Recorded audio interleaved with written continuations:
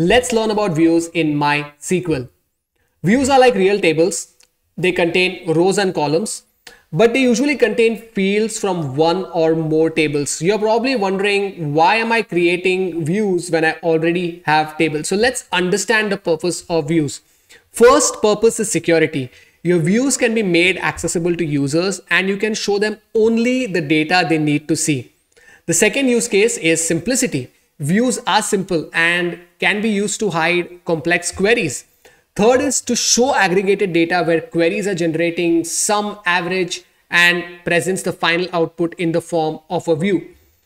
Now let's take a look at a use case. So here's a table, a customer table, where we have five customers, John, Jane, Mike, Sanjay, and Andy.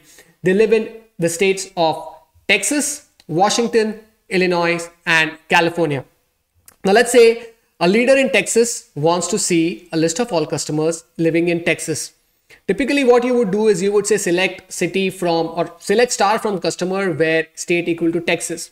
But if that leader can write or modify a SQL queries, the leader can see all the data. And let's say you don't want to show all the customers. You only want to show a list of customers who belong to Texas. So you're creating a separate view for your product owner or for your leader in Texas. So the way to do that is you would say create view and then just like table you would give the view a name. In this case it would be Texas customers as and then you write your SQL query which is select customer name state from customers where state equal to Texas.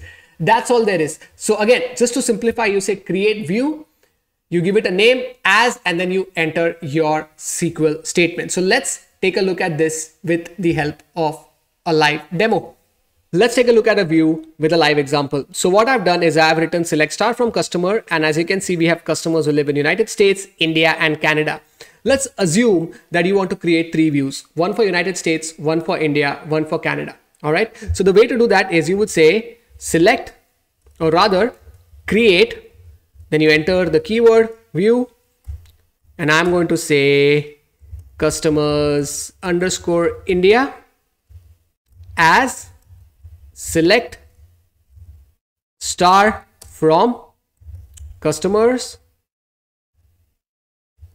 where country equal to India. All right. And I'm going to run this query. So when I run this query, a new view is created. So I can simply hit refresh. And once I do that, I will now see customers underscore India. So let's remove this and say select star from customers underscore India.